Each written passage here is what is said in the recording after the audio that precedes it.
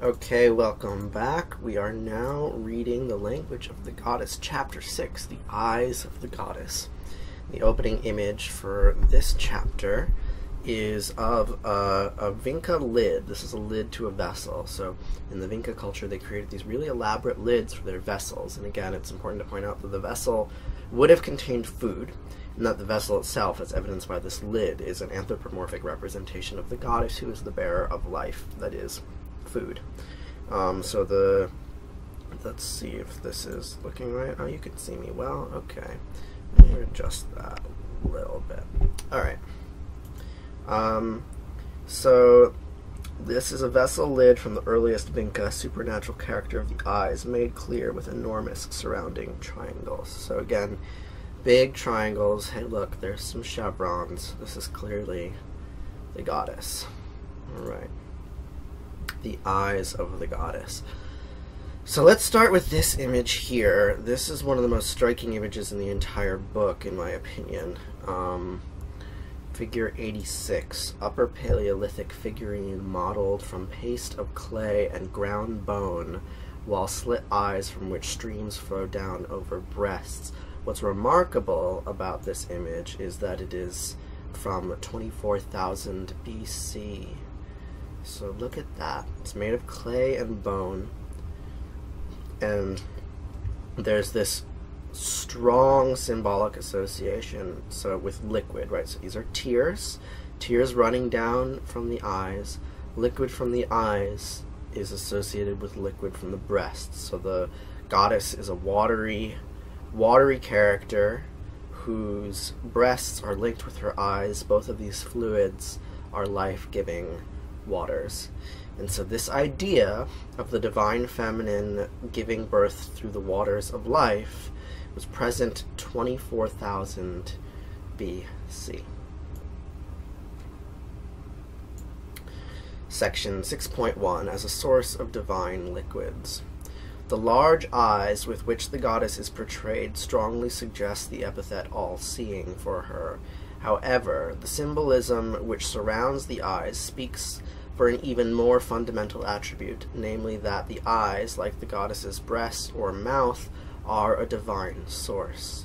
The concept of the eyes as source must have existed in the Upper Paleolithic. On the figurine from Dolny Vestonice, a stream flowing down the body of the deity begins at the eyes. Figure 86. The idea of divine moisture from the eyes is present in the markings on artifact of the Mesolithic and pre pottery Neolithic period. The incised concentric semicircles on pebbles from the Natufian culture of the 10th millennium BC perhaps carry the same idea. So the Natufian culture is present in modern day Palestine. Um, pebble effigies found in the Jordan Valley, and this area of the world is where we have the earliest evidence for grain agriculture. Um, I read a paper recently which said that they had evidence which might even date grain agriculture back to 15,000 BC, which is significantly older than what most what most uh, sources place it. So it seems likely that in, in the few decades we're going to find evidence for agriculture that is older, much older than we originally anticipated. And one of the oldest centers of agriculture is this Natufian culture in Palestine and Jordan.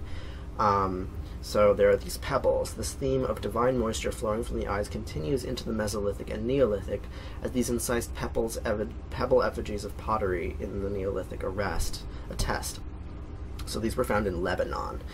And, you know, I mean, this is this is it's quite a stretch to say that these pebbles are the goddess, but I think that if if our modern penchant for for huge cute animals that are whose bodies are 90% head indicates I think that we have a tendency to view the world like this for a very long time. So it's not difficult for me to imagine that the creator of these pebbles, somebody took a pebble and marked it marked it very deliberately, it seems likely that their markings would have had at least as one of the meanings that they were making a face.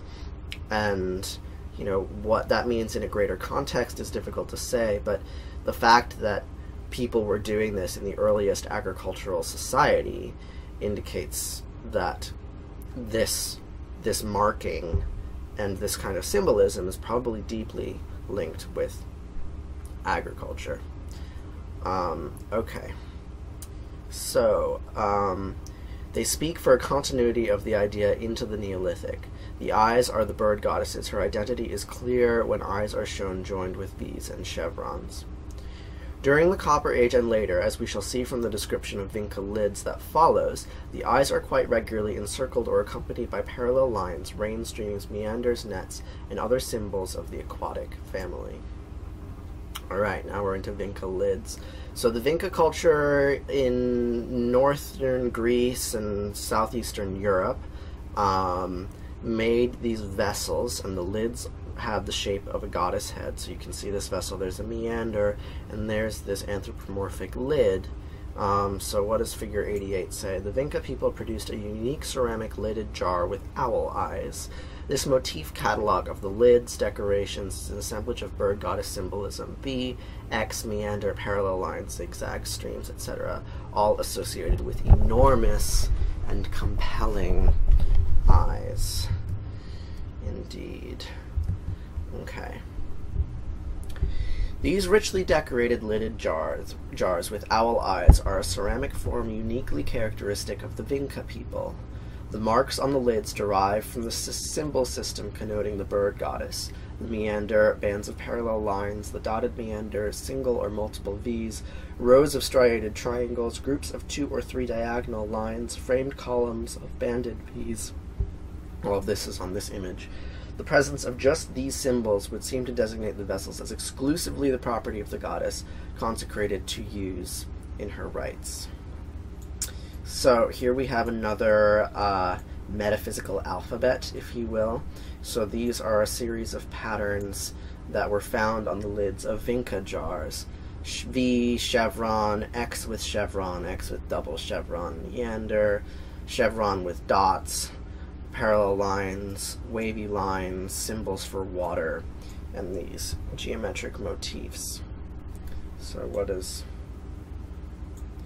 um, here? So this is two. This motif catalog of lid decorations is a semblance of bird goddess symbolism. So she's pulled all of these symbols off of the lids, and they're they're pretty they're pretty profound. Um, and we've spent the last three chapters, last five chapters rather, uh, going over this this symbolism and, and learning what it means. Okay. In the past, Vinca lids have been interpreted as stylized representations of the head of a bear or a cat. This they certainly are not. The fact that there were no cats in Neolithic and Copper Age Europe. In fact, there were the fact is that there were no cats in Neolithic or Copper Age Europe. Since they have a beak but no mouth, the eyes are often the ear tufts of an owl. The eyes and often the ear tufts of an owl. The symbolic markings indicative of the bird goddess, they are most probably what they seem, images of that deity. So, you know, Gimbutas does this thing, probably the weakest part of this book is like she'll she'll claim that birds are places where it's not necessarily obvious that this is a bird. I could you could make strong arguments that these do not resemble bird goddesses necessarily. Um, and so so Gimbutas will will often stretch her symbolism a little further than maybe she should, but I think this is forgivable.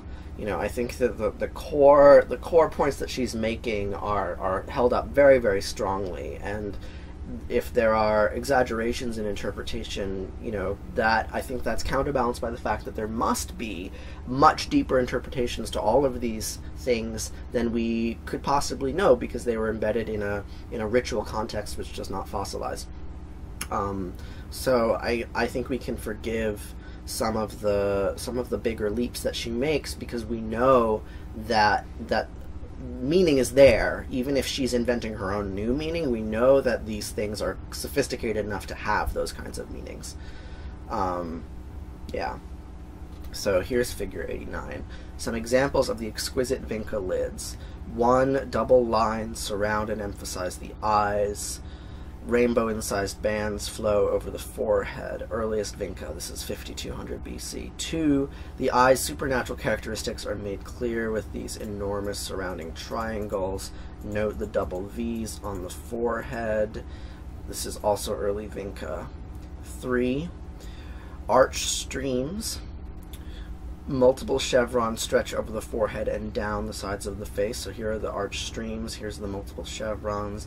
Bands of dotted meanders cover the top and back. So these are the dotted meanders. You can't see the back, but those are meanders there. Mid Vinca, 5000 to 4500 BC. Four streams flow around and down the eyes and beside the beak. Bands of horizontal striations cover the area below the eyes. Streams and V's. Here's the meanders, here's the streams, here's the V's. And meanders mark the forehead mid Vinca, 5000 to 4500 BC. 5, here we have trilines, 1, 2, 3. Trilines arch over the eyes and brush lines sweep back over the forehead. These are the brushes. Also wing shapes.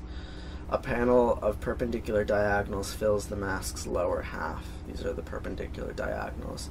Mid Vinca 5000 to 4500 BC, and here six. Streams flow around the eyes. The forehead is covered with a meander from the back of the head with a chevron. So here's the, the forehead covered with a meander. And they're all uh, between 10 and 20 centimeters in size, usually under 15. Okay.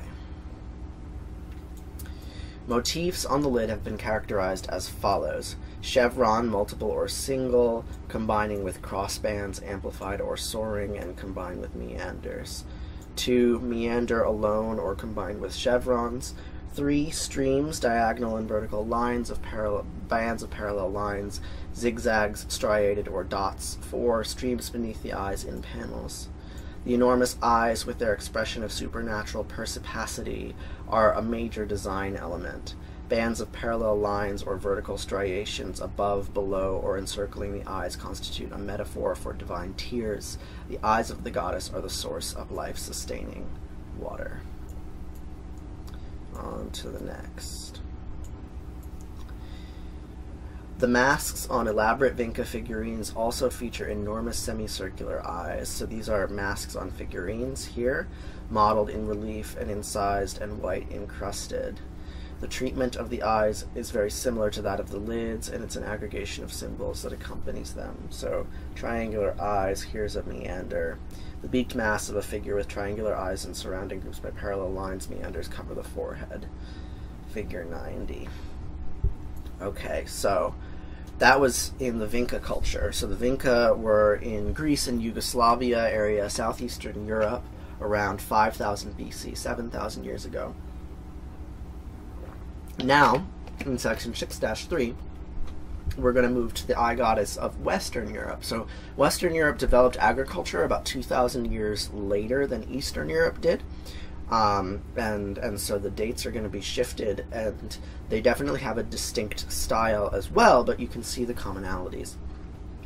Um, so, the term eye goddess came into use after the publications in 1957 of The Eye Goddess by O.G.S. Crawford, the goddess of the title was said to have originated in the Near East, her cult then diffusing across the Mediterranean to Western Europe. Indeed, the resemblances of the figurines from of Temple Brak, eastern Syria, 3500 BC, with their staring eyes and brows joined over the beak, to the stone idols of Spain and Portugal, with oculi motif, is quite astonishing. The similarity, however, most probably resulted from universally held symbolic concept of divine eyes, from which the Western variants developed. So here's this this is a classical evolutionary phylogenetic question, right? So you see you see that there are eye patterns in Western Europe, and you see that there are eye patterns in Eastern Europe. And there's two two uh, hypotheses for why that could be the case. One hypothesis is that it's vertical descent, right? That the, the eye patterns in Western Europe are direct descendants of the eye patterns in Eastern Europe. That's a possibility empirically testable.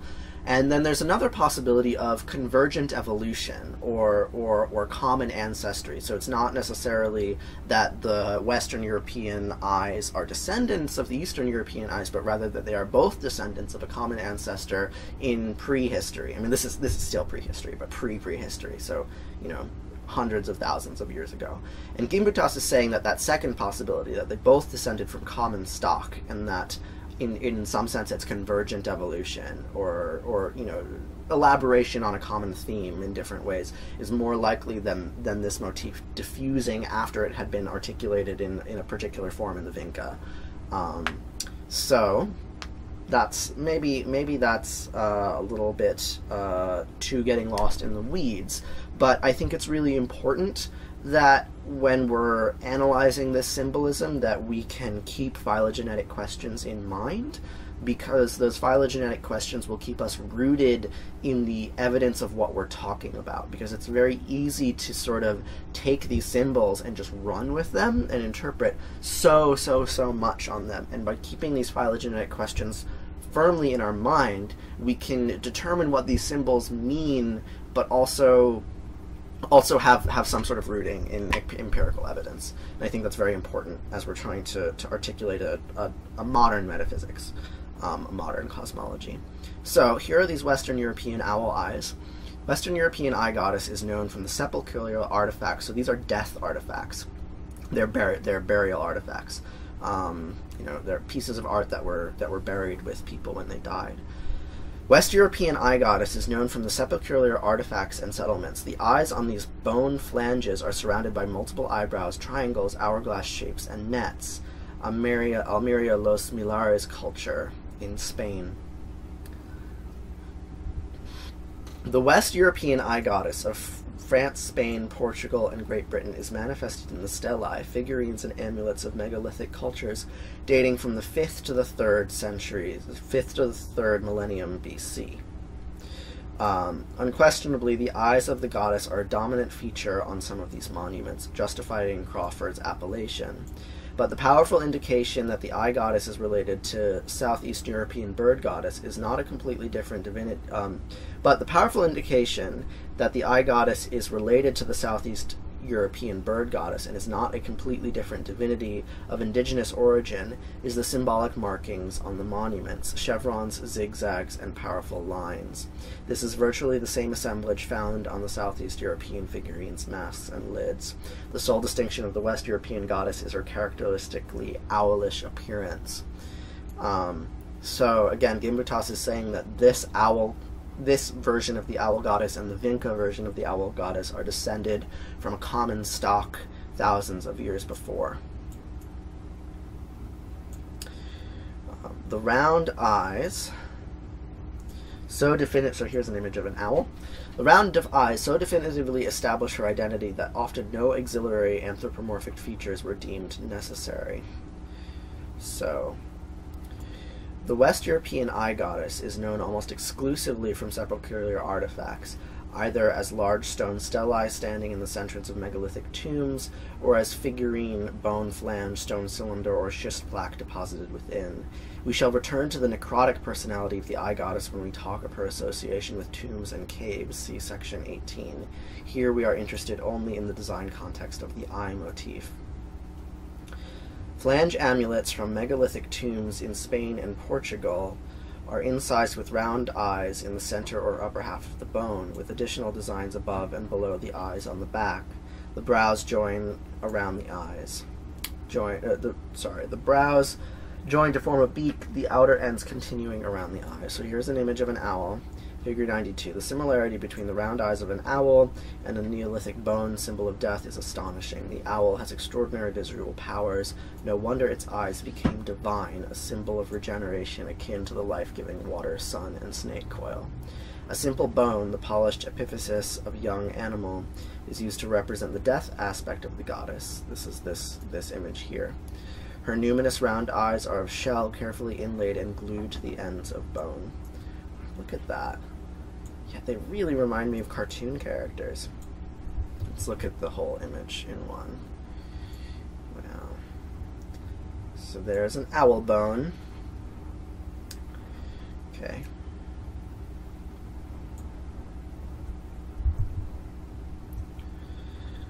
The central motif is often surrounded by many parallel lines. On some amulets, the multiple eyebrow motif alternates with bags, uh, bands of zigzags or nets. The eyes of stone cylinder figurines are flanked by double or triple chevrons and underlined by semicircular lines. The zigzag design at the back of the head and over the crown is apparently a hair water metaphor. The third type of amulet, schist plaques perforated for suspension, has an indication of arms along the sides, the typical owl eyes and beaks, horizontal trilines, chevron zigzags, and striated triangle designs cover the rest of the plaque on both sides. See figure 371. This is annoying, right? I want to see figure 371 now, but it's like, you know, 400 pages away, so I'm not going to show you figure 371. I apologize. Um, but I will show you figure 93 Here's figure 93. Um, wow. These stone eye idols from megalithic graves all share two or four lines. Here's two lines, here's four lines. Uh, two or four lines curving under the eyes and ending as chevrons on the temples. The zigzag pattern over the top and back may represent hair and the black columns apart. Los Millares. Millares. I'm gonna exit this program that has changed the color of the screen. These stone idols from megalithic graves all share two or four lines curving under the eyes and ending as chevrons on the temples. Zigzag pattern over the top and back may represent hair, and the black columns apart. Okay, now look at that. So these are on on stone cylinders huge eyes. Wow. So these are from Spain. Wow. What's their date? Early third millennium, so 5,000 years ago. The eye motif is also part of the design on bowls, dishes, and megaliths recovered from the Los Millares and other Tholos tombs in Almeria, the so-called radiating sun motif is a compound eye sun symbol, is more logically seen as a radiant divine eye. The first example is composed of eyes and vulva, an abstract rendering of the goddess, figure 94. Here's figure 94, so here's eyes and then vulva. Um, radiant divine eyes appear on the Tholos tomb artifacts that may be related to spring-summer growth rites. One is an abstract rendering of the goddess, eyes underlined by a curving triline. One, two, three, one, two, three, and this, of course, is a triangle with three sides, and then the eyes. Two, divine eyes with brush eyebrows and columns of curved lines, three horizontal bands of parallel lines, and three vertical dotted bands separating them from the stag and two deer. Get out of here, dog. Dog is bothering me.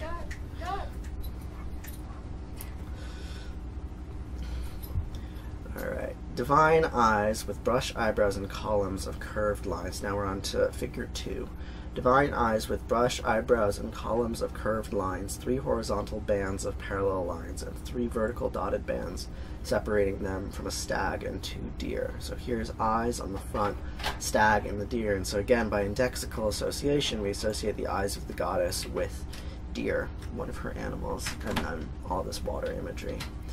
Also from Spain, um, and now three. These radiant divine eyes engraved on Irish stones are almost identical to those found on Spanish ceramics. Wow. Yeah, so you've got these radiant sun eyes. So all throughout Western Europe you see this motif. Um, 1 and 2a.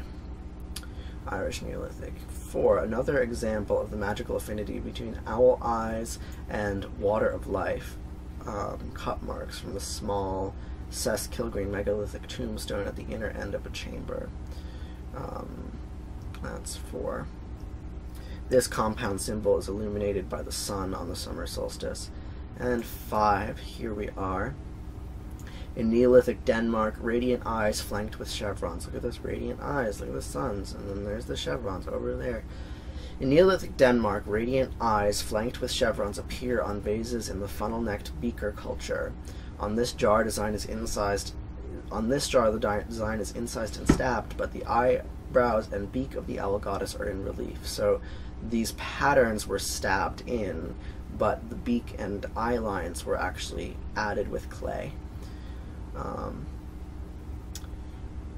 added, are sorry, but the incised and stabbed, but the eyebrows and beak of the owl goddess are in relief. So that's 5,000 year old artifact. Now, let's look at all those at once. So these are various eyes.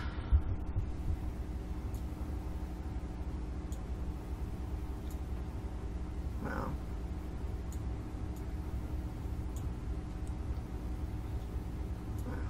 Okay, where were we?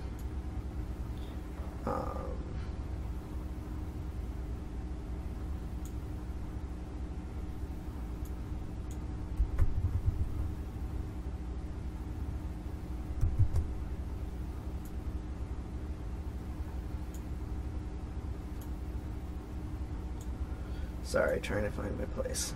This book is difficult to navigate.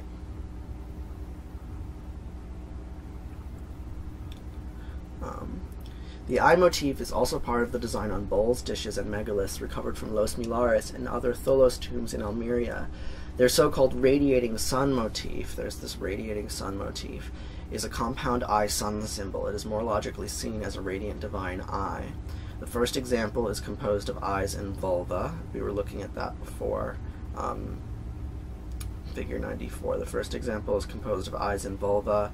Um, that was this one this one. First example of eyes and vulva.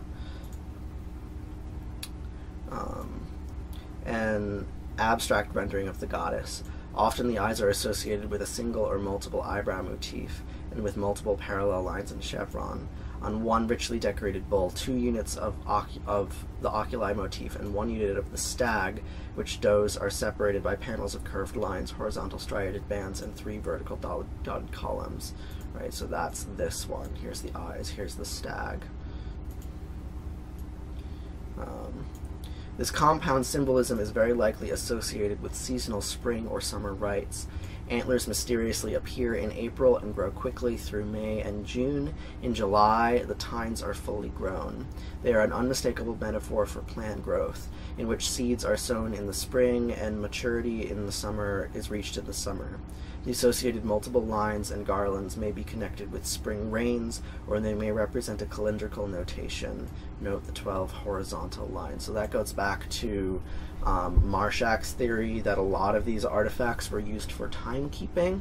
So she's saying that there are 12 lines associated with the, uh, the, is that true? 1, 2, 3, 4, 5, 6, 7, 8, 9, 10, 11, 12. Yeah, see, that's crazy. So, so the number 12 associated with the number of moons in the year or something like that. So it, it seems, and, and, and there are these lines here, so this, this would be a really strong candidate for some sort of timekeeping timekeeping interpretation. But, but of course, knowing exactly how they were using these things to keep time is difficult to say. Um, the done by panels and curved lines, horizontal striated bands, and three vertical dotted columns. This compound symbolism is very likely, oh, we did that. Um, the associated multiple lines in garland may be connected with spring rains, or they may represent a calendrical notation. Note the 12 horizontal lines. Suns and radiant divine eyes are also encountered on megaliths in the tomb shrines in Ireland, usually associated with dot in circles, concentric circles, and brushes, figure 94.3. So that's these ones. So these ones are in Ireland, these eyes, suns, spirals thing. Um, okay. Um, a magical affinity of owl eyes with a cup mark and cup mark in concentric circle, the symbols of center and source is represented on an engraving stone from Sess Kilgreen megalithic tomb, figure 94.4. So that's, come on, that's this one. It's found in a tomb. Oh, that's so beautiful. Like, can you imagine, like, if this this were the only kind of vessel you ever ate out of? Like, you know, none of none of your your fine bland china right, or plastic cutlery, like everything you ate of out of would have been an embodiment of the goddess. I mean, that's it's a really powerful world to live in. That every vessel that you ever consumed food out of reminded you of the of the all-consuming powers of, of life-giving fertility. It's a lot. Um. The act of fusion of the two symbols, eyes and cup marks, itself was ritual ensuring life forces. The stone is illuminated by the sun and summer solstice. Across the North Sea, the radiant eyes of the owl goddess appear on funerary vases of the funnel-necked beaker culture. Okay.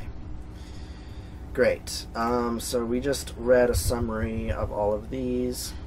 Now we're going to move on to section 6.4 as snake coils, ram horns, horns, and the eyes of the sun. The pictorial association of eyes with snakes and the representation of eyes by snake coils was a widespread phenomenon in both southeastern and western Europe. So these are she's claiming that these are snakes and that these are also ram horns. The fusion of these two disparate elements into a single symbolic expression held for old European artists a special fascination, to which they responded with particular ability. The dynamism of the serpent is a very ancient and recurring human occupation. The snake's energy, it was believed, was drawn from water and the sun, right? So here she's claiming that this is a snake and it's associated with both water and sun. That's what we were showing before. Um, and so with a lot of these artifacts, like if you look at this here, she's claiming that these are snakes too, and like that's not immediately apparent. Uh, but there are some artifacts where those coils have faces on them, have heads and eyes, and they're clearly snakes. And and so we're dealing with a symbolic system of sometimes the iconism of like snake. This isn't terribly snake iconic. Um, it's much like if, if you're going to say that it's a snake, it's purely a symbolic snake because I mean it's like slightly iconic, but in any case, Gimbutas might be making a stretch with these, but the more artifacts that she shows you, the more the claims that this is actually a snake seem to make sense. Um, so she's she's saying that snake imagery held held a, a, particular meaning in, in the ancient world that was almost diametrically opposed to the Abrahamic meaning that we see right? So the dynamism of the serpent is a very ancient and recurring human preoccupation. The snake's energy, it was believed, was drawn from the water and the sun. The archaic metaphor that pairs the magical power of the serpent with the creative force in nature must have crystallized very early from a natural intuition. This imaginative metaphor is thoroughly integrated in the art of Old Europe. Snake coils as divined eyes appear singly or joined, and as design motif on ceramics, temples, and tombs. So, unlike the Abrahamic tradition, in which the snake is considered a corruptor, in this tradition, the snake is a source of fertility. Um, and potentially also destruction, right? You have this Ouroboros image where it's creation and destruction at once, but it's not the same thing as corruption and the source of sin necessarily. Um, so you see that a lot of the symbols in the Old Testament come from this earlier tradition, but they've been inverted. The magical affinity of snake and eye is pictorially expressed on Cucuteni vases as early as the 4th millennium BC by their juxtaposition of painted bands by a double spiral with broad undulate snake band below it, right? So here, this is eyes, snakes. Um, the motif is continued in the Aegean area throughout the 3rd millennium BC. A particularly interesting example is preserved on a shard dating from the first half of the 3rd millennium uh, BC from Attica, right? This is this figure. The graphic metaphor of eyes and mouth as snake coils. Snake coils and that of the brows of the ram. So these are ram brows. Again, like, is this really a ram? Well, with this, not necessarily, but when you read the ram chapter, it becomes clear that the ram has become abstracted into all of these different forms. So it's a ram, it's a chevron, it's eyebrows.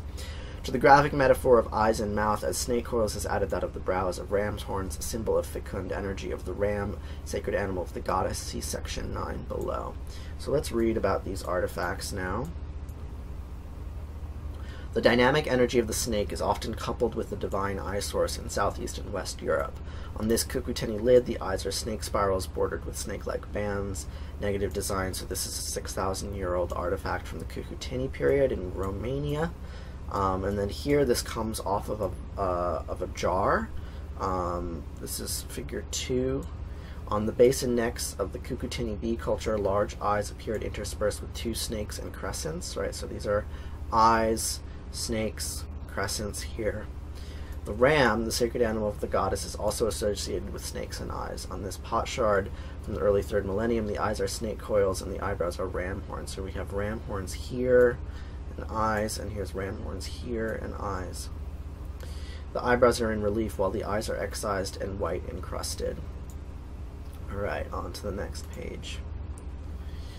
So now we're on to megalithic tombs. Um, the oculi motifs as snake coils of ram horns engraved on the entrances to tombs as on these rock cut tombs in Sicily, early Bronze Age. Wow, look at that. That's so beautiful. So here we have eyes slash ram's horns slash serpents. You know, they're iconic of all three of those. Here's the chevron. Here you have a, a vague hip shape. Chevron for the pubic triangle. Chevron for the beak. Wow. Alright, let's read about these now.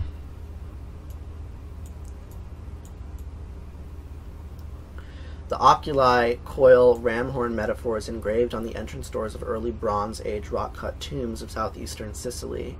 Magnificent snake coil oculi are abundant in the early great stone temples of Malta, at Ggantija, Hagar, Qim, Bugibba, and Tarxien. So there's these amazing, amazing temples at Malta, and you should probably just pause this video and Google temples at Malta to see some of these images. But if you're not going to do that, I'm going to show you figure 97. So here, these are these eye images carved at Malta. Um, figure 97, the dynamic snake and divine eye source combined in these snake oculi carved in relief on blocks from magnificent temples in Malta and Ireland. So one and two, these two are from Malta, and then three, uh, this one here, this one is from Ireland. Wow. Um, so those are those are impressive. Let's go back. Um, the V sign between the snake coil eyes may represent a beak, or it may simply serve as a designation of the goddess, right? So here the V sign may be a beak, or it might just be a symbol of the goddess more abstractly. The most elaborately decorated block still extant can be seen in the Temple of Tarxien, 3rd millennium BC. Its large slab motif developed as a decorative device, um, among them long blocks with running spiral motifs sprouting buds and branches. Collectively, the temples are witness to the outstanding talent and craftsmanship devoted to at Malta to the worship of the goddess. The megalithic art of Western Europe is replete with snake coil and double snake coil motifs as independent units or as part of an anthropomorphic figure. In some cases, the double snake coil eye and the single snake coil motif occur together or on a single stone surface. Linguistic evidence also reflects the peculiar interchangeability of eyes and the sun. The Old Irish suil is eye, while in other languages it means sun. For example, Lithuanian and Latvian saule means sun. Furthermore, there was a goddess named Sulis, quite likely the, the same noun as Suil, equated with Minerva in Roman Britain. She was the patroness of art and healing at thermal springs in Bath, Aquae Sulis. Her epithet was Suelvii, in plural form twin-sunned. A semantic transfer eye to sun in this divine epithet is quite clear. The magic regenerating eyes of this goddess were seen as suns.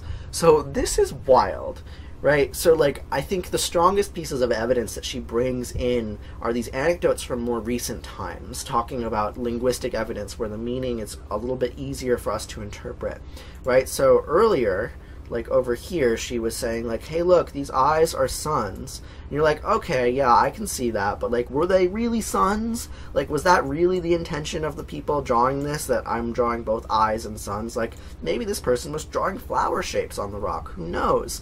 But then we have this piece of linguistic evidence and it's like well no like the word for eye and the word for sun in these old languages like old irish and latvian is the same word and and here we have twin sunned, right? Twin sunned. I mean, that's quite quite an image for a pair of eyes. So by by using these modern anecdotes where where the language has a translation that we feel more firm about, we can go backwards in history and interpret these artifacts that we wouldn't firmly be able to interpret otherwise. So that's really cool. Um, so here are these eye suns in Malta.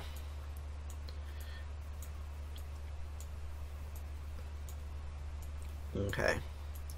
So now the last section is about cup marks. So let's look at this image here, cup marks, and what's the the um, Like divine eyes, cup marks symbolizing the source of life giving moisture in the British Neolithic. Okay.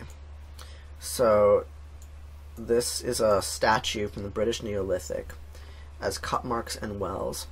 Predominant features of deliberately modified large rocks and human shaped stones throughout Europe, particularly in the west and north, are small round hollows, the so called cup marks.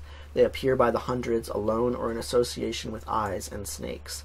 Occasionally, an anthropomorphic stone, the goddess is solidly covered with them.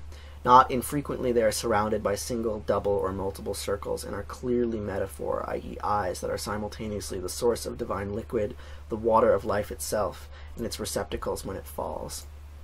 Their meaning is suggested by the fact that such cup marks have, to this day, retained some of their symbolic significance in the European peasant subculture, which attributes healing powers to the rainwater which collects in them. Paralytics and those with other disabilities seek relief by drinking the holy water, washing in it, or rubbing it on the afflicted parts. In Greece, the July 26th feast of Saint Paraskevi, which means Friday, the heir of the prehistoric goddess, is an especially good time for curing eye diseases. Hundreds of silver ex votos representing human eyes can be seen adorning her icons. In the summer of 1986, I saw such votive offerings attached to the paintings of the saint in the chapels on the island of Paros in the middle of the Aegean Sea. Right, so again, some of the most powerful uh, pieces of evidence that she has to marshal are modern pieces that hark back to this earlier time. So she's talking about this this this cup ritual um, that is supposed to be good for eye disease and like these, sort of like really really idiosyncratic ritual you'd be like what does that mean and be like oh that's a vestigial thing from from a, a much more robust religion 8000 years ago it's pretty remarkable a cup mark is a miniature well. Holy wells under large stones are sacrosanct and considered to be mysterious sources of the goddess's life giving moisture, a belief found in all Europe up to the 20th century. In prehistory and in folk memories, well and cup mark were symbolically interchangeable. Both were symbols of centrally concentrated goddess life force. And with that, we have finished chapter 6. Thank you for joining me on this journey, and I will see you next time.